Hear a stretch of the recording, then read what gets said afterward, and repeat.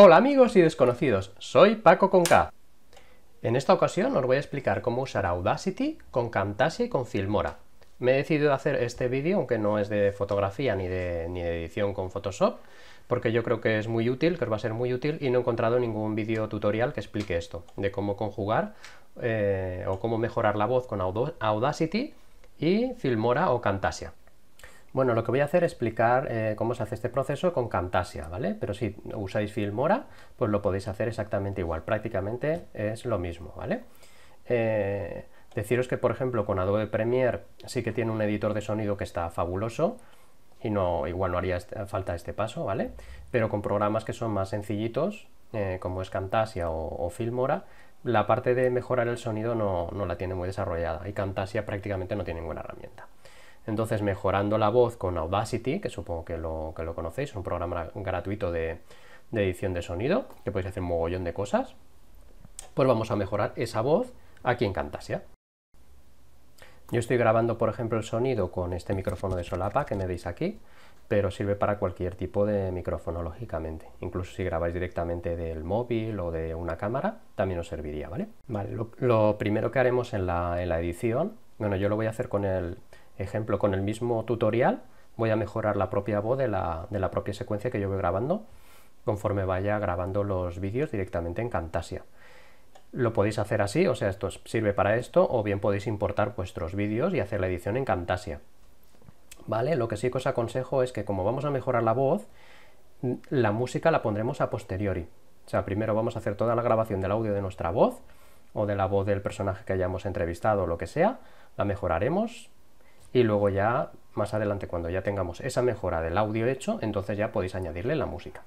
Vale, lo primero que haremos es dejar unos segundos de grabación sin hablar nada para que capte un poco el sonido de fondo, ¿vale?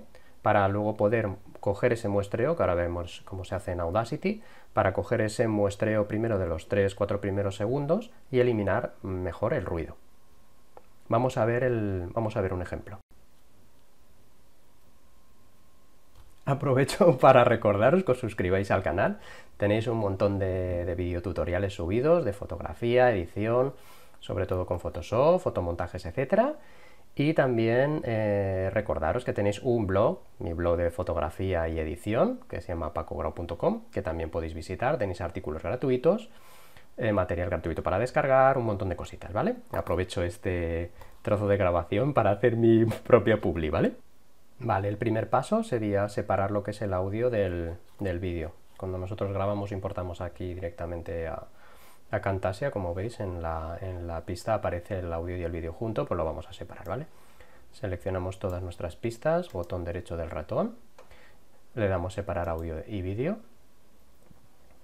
y nos crea una pista nueva con el audio por separado y el vídeo por separado. Ese sería el primer paso.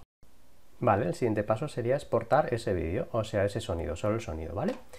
Os vais a compartir, exportar solo audio, ¿vale? Podéis seleccionar o WAP, que es sin comprimir, o archivo M4A, que es comprimido, y voy a escoger sin comprimir, WAP, para que no pierda nada, nada de calidad, para que se pueda apreciar mejor, ¿vale?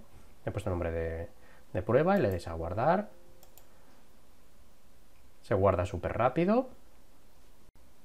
Ahora el siguiente paso es abrir nuestro audio en Camtasia, os abrís ahí, en Audacity, vais a archivo, abrir, seleccionáis el fichero, el archivito de, prueba, abrir, vale, y directamente lo, tenemos aquí. Vale, paso 1, pues la reducción del ruido, ¿vale? Por eso hemos dejado ese, ese hueco de silencio. Yo lo tengo aquí, vosotros cuando hagáis las primeras grabaciones pues igual lo tenéis al principio. Pero yo lo voy a coger de aquí, que es el silencio ese que he dejado para la muestra. Selecciono todo esto de aquí, que es el silencio, eh, perdona, el, tiempo que he estado sin hablar delante del micrófono. Selecciono el trozo, nos vamos a efecto y nos vamos a reducción de ruido, obtener perfil de ruido. Vale, ya lo tenemos. Ahora editar, ¿vale? Seleccionar, perdón, seleccionar todo, toda la pista, nos vamos al mismo efecto, efecto, eh, reducción de ruido, ya que le des a aceptar, hace el proceso de reducción de ruido, dependiendo del tamaño del audio, pues tardará más o menos. Y ya lo tenemos, ¿vale? Ya nos ha quitado ese, ese ruido de fondo. Ahora vamos a un filtro que se llama compresor. Os vais a lo mismo, efecto, buscáis compresor. No tocáis ningún parámetro, no hace falta, tal cual está. Si tenéis otros parámetros, pues ponéis lo que veis, pero creo que son los que aparecen por defecto, ¿vale? Y le damos a aceptar.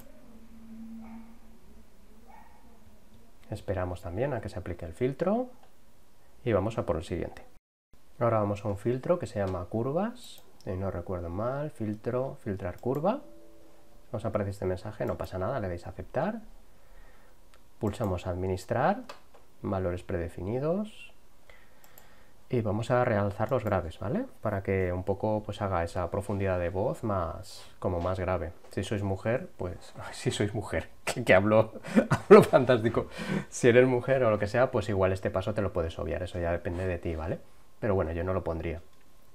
Como mi voz es más o menos grave, mm, si pongo, si pongo estos eh, decibelios, 9 decibelios que, que viene por defecto, es mucho, ¿vale? Si le dais a vista previa, Hola amigos y desconocidos, soy Paco con K. En esta ocasión... Vale, hace como un pequeño trocito de muestra. Yo voy a bajar un poco porque a mí no me gusta eh, ese realce tan potente. Si tenéis una voz un poco más aguda, pues lo podéis subir y si es más grave, pues más bajo. Podéis un poco jugar con esto. Pero bueno, entre 3 y 9 suele ser lo aceptable, ¿vale? Le damos a aceptar.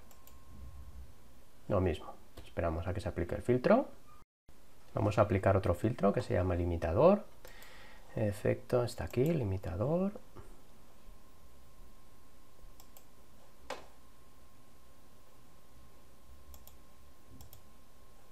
A ver, creo que se me había ido. Efecto, limitador, sí, vale.